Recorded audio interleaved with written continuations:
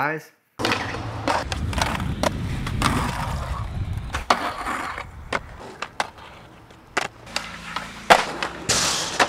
All right, welcome back to the second episode of April. First thing here to start us off is a treat.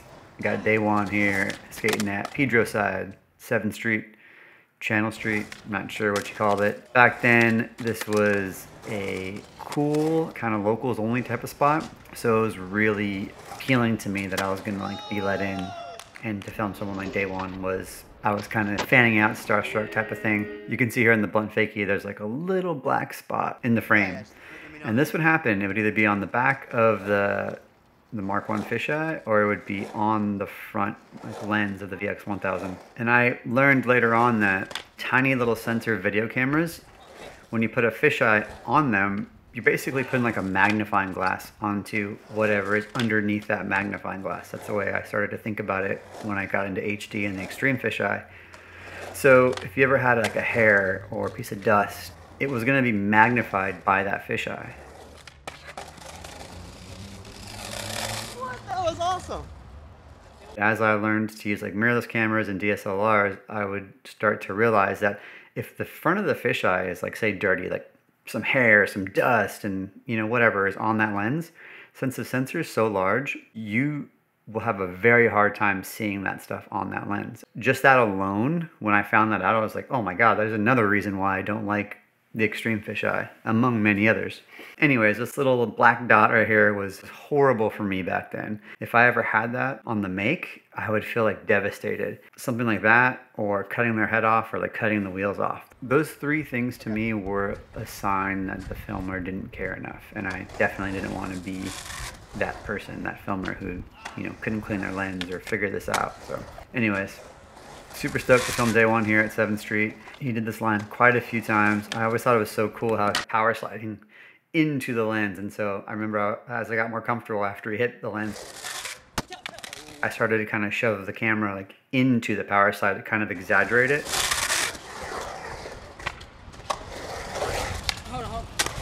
I'm pretty sure that if someone else would have hit my lens like that, I would have had a different voice. But since it was him, I was like, oh, It's cool. It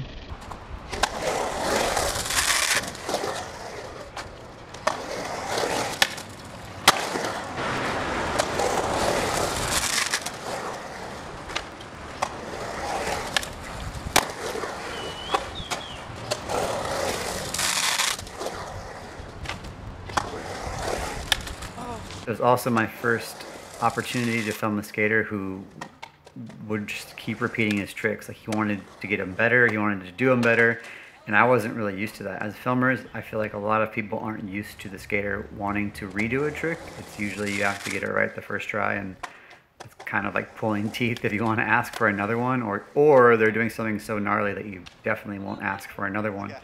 But with Daewon, it was he could he wasn't stopping. He just kept repeating and kept repeating.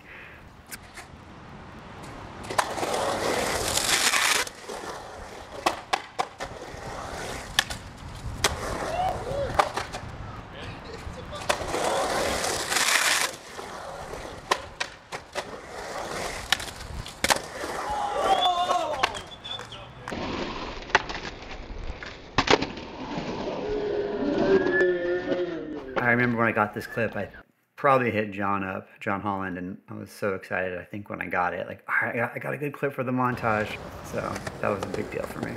Now we're in Long Beach at that ledge into tight little bank or bank to ledge. This was that spot that Tim Tim talked about in the last episode. So I went the other way off the Off the bank? back lip and then popped out fake in the middle. Oh, okay. So we must have went there a couple days later.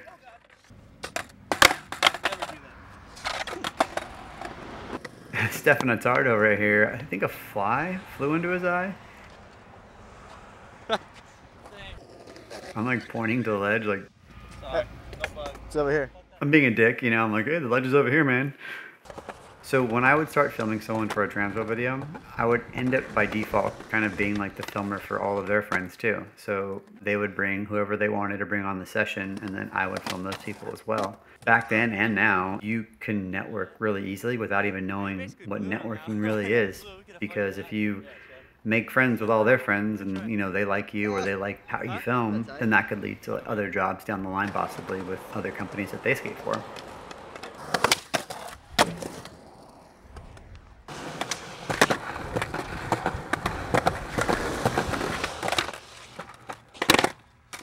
That's cool. It's gonna look cool. I can tell.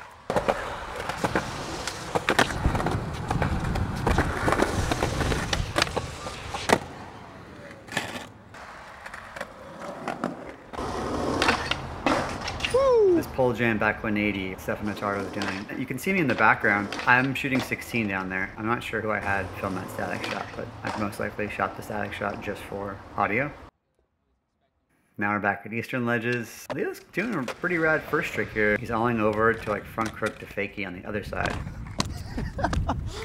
you alright?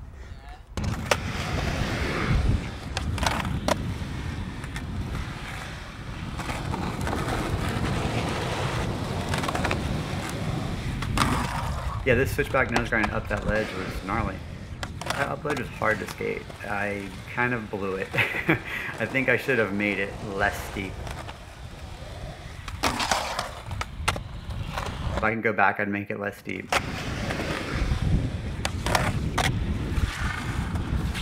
Where are you going?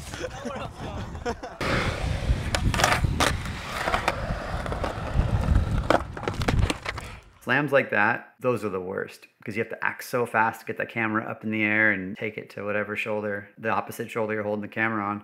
There were holes in the ground, like from posts holding up buildings. I guess I got lazy and I never covered up the holes, but my wheel gets stuck in one of those holes.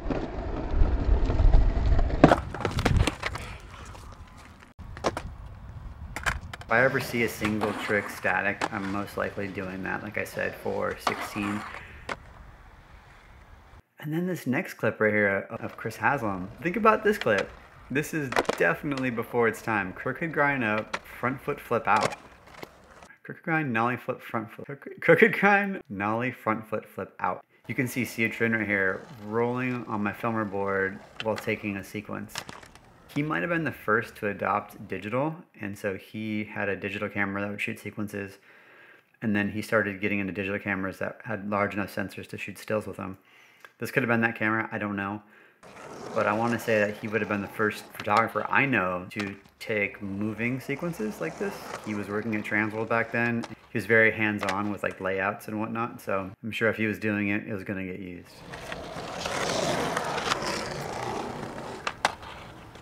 Seu Trinh, being one of the originals.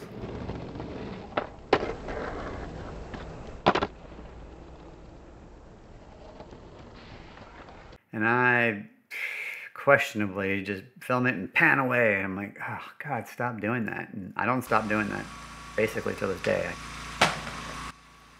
All right, this big four in Pedro. I wonder if I skated this big four the same day I skated with Daewon, just later that night, maybe.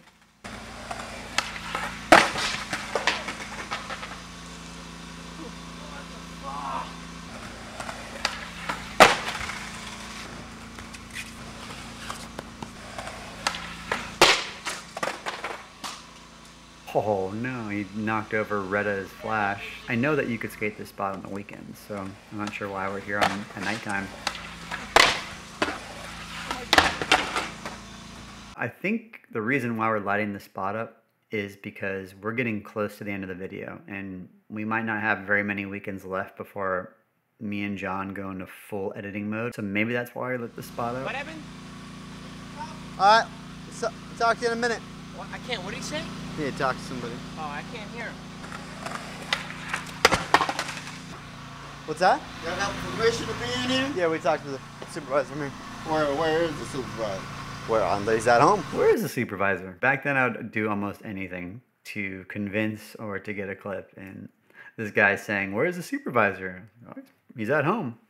Like I knew him. I didn't talk to a supervisor. I just just said what I could to try and get us some more time. So we gonna get, we getting ready to lock up the park.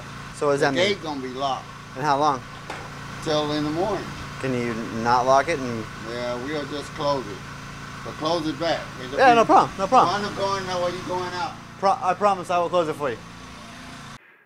I can't believe this guy was so nice to leave the gate open for us and let and trust me to lock it for him when I left. That that does not happen. So thanks to you. So he's gonna lock the gate, but he's gonna leave it open for us. All right, we're back at it.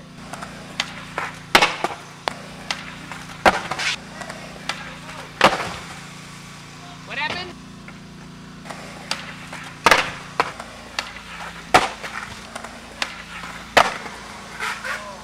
We'll just Photoshop your arms.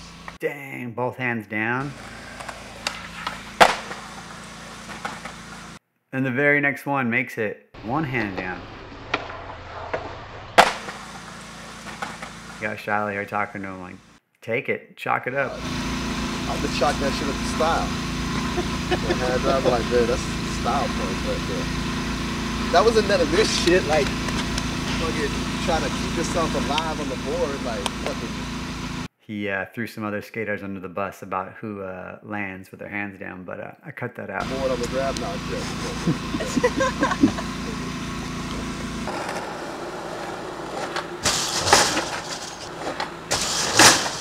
This was cool. I really liked this spot. I don't know who found it, if I found it, Leo found it, this bump to frontside wall ride, but it wasn't on a wall, you know, it's on this, one of those weird gates. Tricks like this to me would stand out in this part.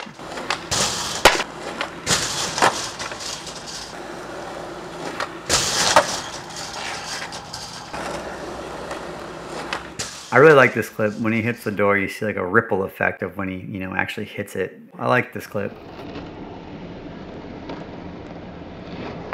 I love filming rolling long lens.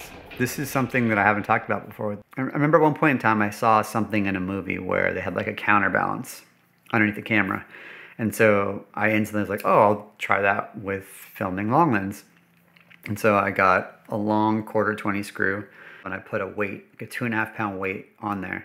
And I would tighten it down and I would lock that into the bottom of my VX. You know, it'd probably sit like six or seven inches below the camera and it would keep everything really nice and stable. And I'm most likely using it right here. If I could, if I, depending on how I was filming, I would still be zooming with the zoom ring or this clip, I could be using the toggles because if I'm like underslung and I'm holding the camera really low, then it was easy to use my thumb on the toggles. Anyways, yeah, I like the way this clip came out. It's kind of rare that I like the way a clip comes out. Zooming in, zooming out, zooming in again. A lot of zooming. That's it for this episode. So I'll see y'all back in the first episode of May. Where is the supervisor? Hasta luego. He's at home.